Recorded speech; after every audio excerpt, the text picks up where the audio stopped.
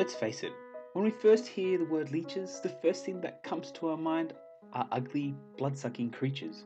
And truth be told, that kind of makes sense. But even though they might seem like ugly, blood sucking creatures, there is plenty of amazing and interesting facts about them. Today we'll discuss 7 of the most interesting facts about leeches you really should know about. There are 650 species of leeches that range in sizes from 0.3 inches to 16 inches in length. Leeches are a type of worm and are closest related to the earthworm. Leeches have 32 brains, which in many ways resemble the human nervous system, so much so that tests are being done on leeches to help investigate human brain disorders. Leeches have a huge appetite. Within one sitting, they can consume up to 500% their body size, and using that can survive for up to one year without having to eat again.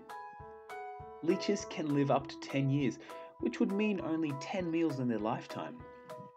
Leeches will pierce your skin to suck on your blood. The only thing it is painless due to their super sharp teeth. But just to make you feel better, they will also inject you with an anesthetic so that they can munch on for hours. Also, in the process, they inject you with an anticoagulant called Hirudin, which prevents blood coagulation. Both the anesthetic and anticoagulant produced by leeches has been used in medicine to produce drugs. Also, leeches have been used in medical methods called bloodletting for thousands of years. Leeches are hermaphrodites, which means they have both male and female reproductive organs, and because of this, they can self reproduce. When reproducing, they lay a large number of eggs either in a cocoon or store them in their bodies. So, that is the top 7 facts about leeches. So, hopefully, next time when you see a leech, you can look at it with respect and then scream, roll it up, and flick it off into the forest. For more videos like this, click on the subscribe button here and check out my website in the links below. Thanks for watching.